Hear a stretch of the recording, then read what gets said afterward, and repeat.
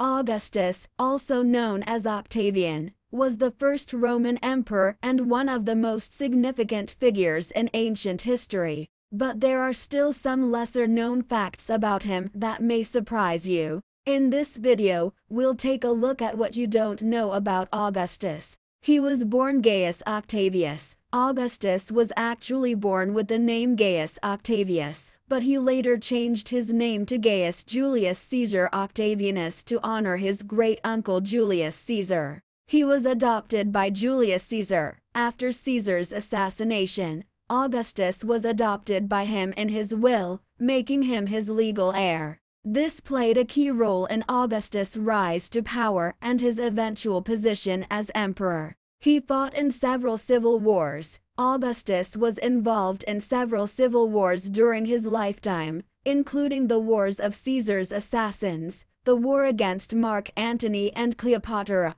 and the Cantabrian Wars. He transformed Rome into an empire. Under Augustus' leadership, Rome transitioned from a republic to an empire. He reformed the government and military, established a system of public works, and initiated a period of peace and prosperity known as the Pax Romana. He was a patron of the arts. Augustus was a great patron of the arts, commissioning many famous works of literature, poetry, and architecture. He also founded the Roman Empire's first public library and sponsored the construction of numerous public buildings and monuments. Conclusion Augustus was a complex figure, but his impact on Roman history and the world as a whole is undeniable. By learning more about what you don't know about him, you can gain a greater appreciation for the man who helped shape the world we live in today.